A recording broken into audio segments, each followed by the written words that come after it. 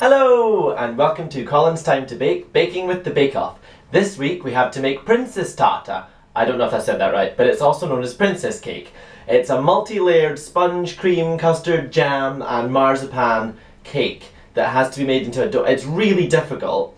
Now we have to get our ingredients. Get ready. One, two, three. Oh lord, that's a lot of stuff.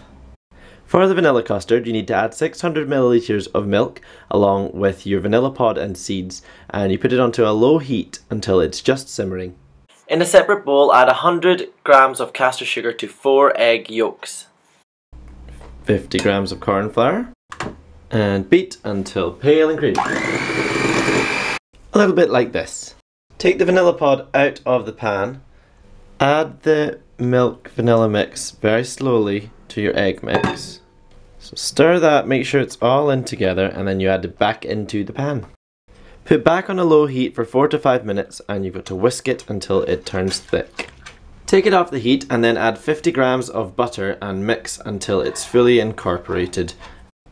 Transfer it into a bowl and cover it with cling film to prevent a skin forming and then you leave it to cool. It's time to make the jam! For the jam you need 200 grams of raspberries, 175 grams of jam sugar and 2 tablespoonfuls of water. Stir over a low heat until the sugar has melted and then bring to the boil and boil excessively for 4 minutes. Once your jam's ready, let it cool. Time to make the sponge. Preheat your oven to 180 degrees or 160 if you have a fan oven. Need 4 eggs and 150 grams of caster sugar. Beat well. May take a while, but you want it to be this kind of thickness. I know you can't really tell, to be honest. Next, add 75 grams of corn flour, 75 grams of plain flour, and a teaspoon of baking powder. Fold the mix in, and then add 50 grams of melted butter. You need to make sure you don't overmix it because then you'll knock out all the air you've just put in. Put the mix into a 23 centimeter lined spring tin, like this. Bake for 25 to 30 minutes. Now it's time to make the rose for the top of the cake. I will be using Miss She Who Bakes tutorial which can be found at shewhobakes.co.uk. Search for Rainbow Rose tutorial. Time to make magic! Ah, that'll do. Once the cake's out of the oven, leave it to cool. Once it's cooled, cut the cake into three pieces horizontally. Hasn't quite gone as planned, the middle layer is a little bit um, thin, so yeah, I'd lose points for that definitely. It's time to assemble. Base on. I've added a thin layer of custard to this. I've not bothered about the edges because the next part is piping. Take some of your cooled vanilla custard and put it into a piping bag and then pipe around the edge to create a dam to hold in the jam. I will not win points for neatness. Jam's in!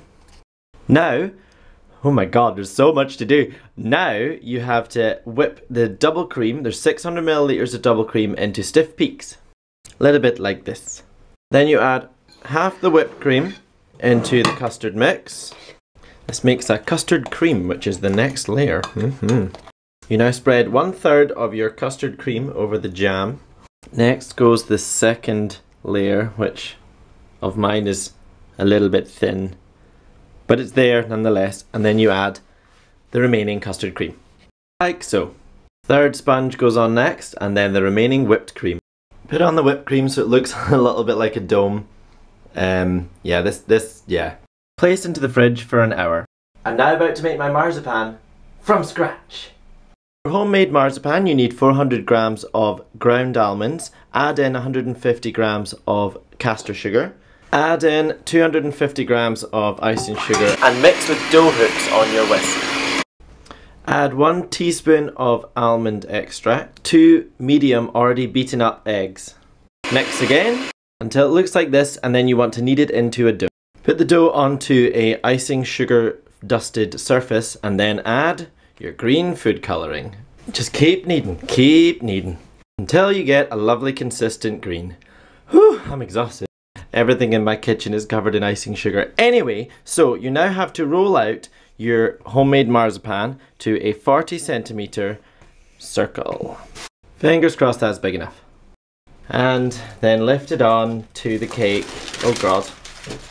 Oh god, I've made a hole. Oh no. Oh, oh. Okay, okay, here we go, here we go.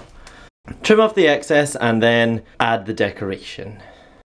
Using 250 milliliters of double cream, make some more whipped cream, put it into a piping bag, and we're now going to add the decoration to the outside. A little bit like this. Nice and pretty. Using 50 grams of dark chocolate, melt it and then put it into a piping bag because you're now going to draw some decorations on the top. And finally add your rose. Even though it pains me to do this, because I think it looks quite pretty, I have to cut this open and see what's inside. Oh, it's definitely jam. Not bad. A little bit flat, but you know. It looks like it's bleeding.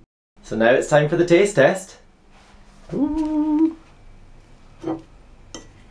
Ah, the layers. Mmm. Mmm. Mm-hmm. So there you have it. I made a princess cake. It actually turned out okay. I was quite surprised that it managed to hold a dome shape. And um, the homemade marzipan was a little bit more difficult than I thought it was going to be. But apart from that, you know, we managed. So join me next week where no one's really sure what the technical bake is and that'll be interesting. Until then, follow me on Twitter, Facebook, and click the big red subscribe button. Thank you very much for watching. My name is Colin. This is Colin's Time to Bake, baking with the Bake Off.